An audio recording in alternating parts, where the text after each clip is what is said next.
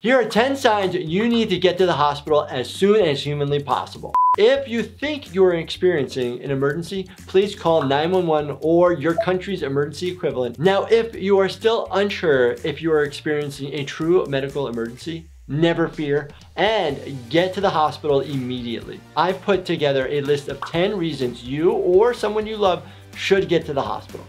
Number 10, trouble breathing. Not to scare you, but trouble breathing is very serious and we need to rule out the potential life-threatening causes for your sudden shortness of breath. As an ER doc, when I hear a patient is having a sudden onset of trouble breathing, there is a laundry list of medical conditions that could cause this that need to be ruled out, especially the bad ones. Things like having a heart attack, blood clot in the lungs, problems with your aorta, heart failure, infections in the airways, and normal level of oxygen in the body is usually 95% or higher. But if your oxygen levels drop below 90 to 95%, or you just feel uncomfortable and are having trouble catching your breath, definitely get to the hospital now. I repeat, definitely go to the hospital.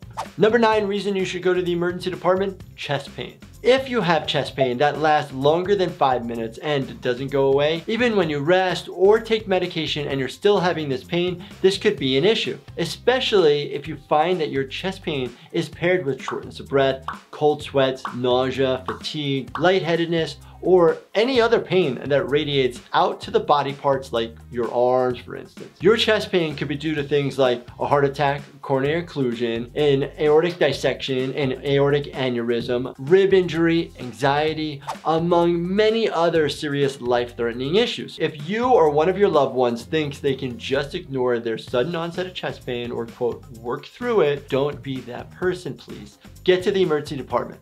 Number eight reason, displaced or open wound fractures. Fractures in doctor speak just means broken and displaced fractures can either be open or closed. When you break a bone, the skin is sometimes intact, aka closed fracture, or if the bone breaks through the skin, that in doctor speak is called an open fracture. But no matter what you call it, if you break something in your body or have a suspicion you or someone you love broke a bone, seek medical attention right away. Then we'll decide whether you need to have it splinted, sling it, or whether you may require a reduction procedure or surgery to put the bones back in place. Get treated today and you'll minimize things like growth issues, arthritis, osteoporosis, and other pain in the future. Have you ever broken a bone? Let me know which one and let me know what your experience was like in the comments below. Number seven reason you should head to the ER, fainting or dizziness. Fainting is when you suddenly lose consciousness for a short period of time. You're talking, for example, doing something and then boom,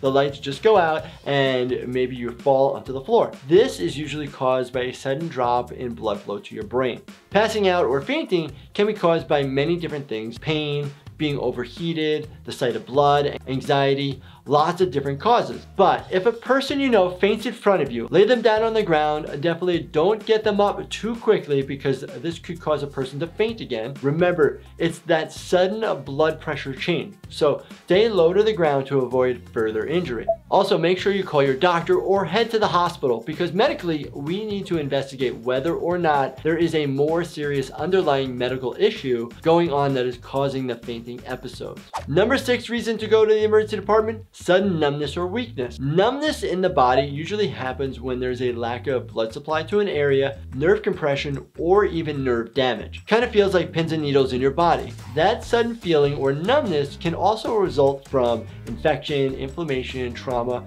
and other life-threatening issues like a stroke. Certainly, there are other neurologic conditions that may cause numbness, but my concern when I hear sudden numbness or weakness on one side of the body is always stroke. Come to think of it, I can't really feel anything on the left half of my body. This is very serious and could be potentially life-threatening. Strokes are the number five cause of death in the United States. They can occur when a blood vessel that carries oxygen and nutrients to the brain is either blocked by a clot or bursts. When this happens, blood and oxygen can't get to that area of the brain and the brain cells start to die. So to avoid further complications or other potentially disabling outcomes, if you feel numbness or weakness in your body, play it safe and call 911 or seek immediate medical attention.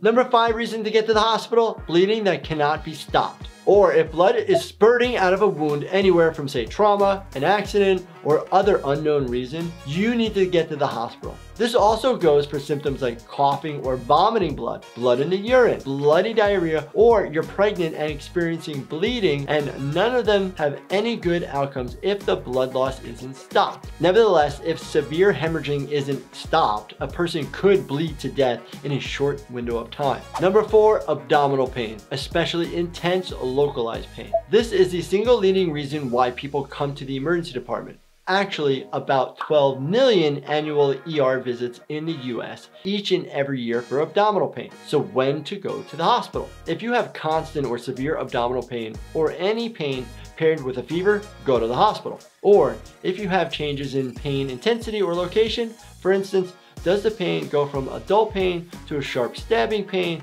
or does your pain radiate to another area?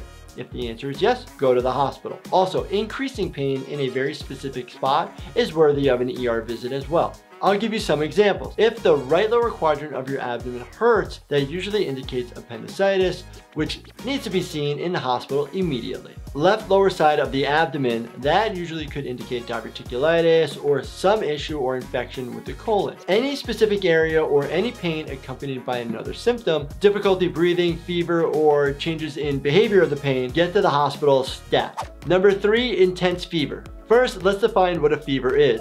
A body temperature of over 100.4 degrees Fahrenheit or 38 degrees Celsius is considered a fever and often a sign of infection in the body. If a child is under the age of three months and experiencing any elevated temperature, call your healthcare provider or head to the ER immediately. For anyone older than an infant, typically patients are told to come to the hospital when a fever is hitting or heading towards the 103 degree Fahrenheit or 39.4 degrees Celsius mark. Any higher body temperatures than that definitely come to the emergency department. Two, Confusion or changes in mental status, aka if a person is not acting or thinking like they normally would, get them to the hospital. If a person suddenly confused, disoriented, possibly agitated, or even having suicidal thoughts, you should immediately seek medical attention for any abrupt change in a person's mental status. Several serious medical conditions or even outside factors can cause changes in a seemingly healthy person. Number one reason to go to the emergency department, anything you're concerned about. Sometimes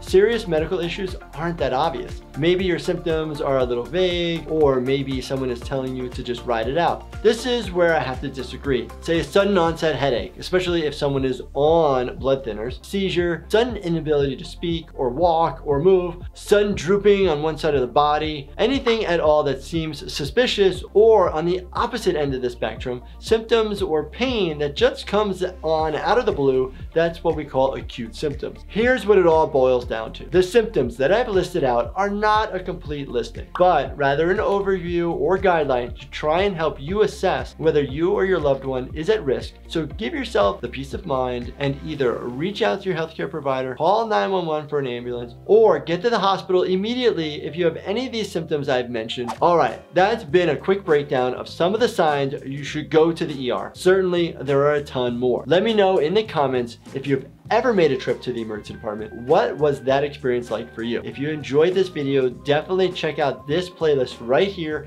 And as always, make sure you subscribe to both channels. Thank you so much for watching and stay healthy, my friends.